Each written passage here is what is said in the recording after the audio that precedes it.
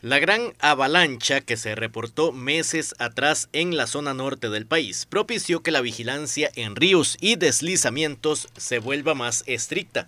Así lo confirmó la cabeza del Comité Municipal de Emergencia de Pérez Celedón. Esa es una de las eh, indicaciones que siempre se nos hace por parte de la Comisión Nacional de Emergencias, que estemos vigilando las diferentes cabezas de agua, las caídas, los derrumbes, los deslizamientos, los aportes de material, de tierra, de palizadas en los diferentes ríos, que es una labor de todos los vecinos, ¿verdad? Y siempre insistimos que ante cualquier comportamiento de ese tipo se nos sea reportado para que también pues avisemos aguas este, eh, abajo, como decimos eh, popularmente.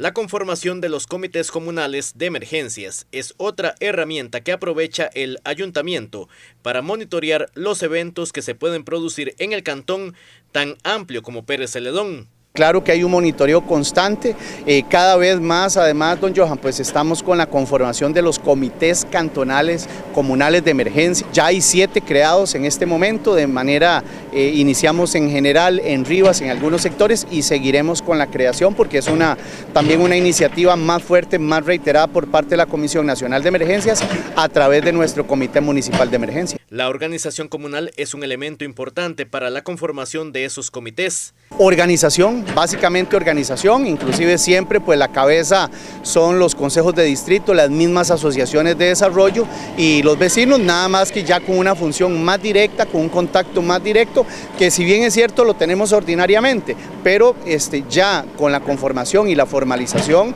ya de los CCCE es todavía más fuerte. La precaución siempre debe ser un pilar en cualquier cantón.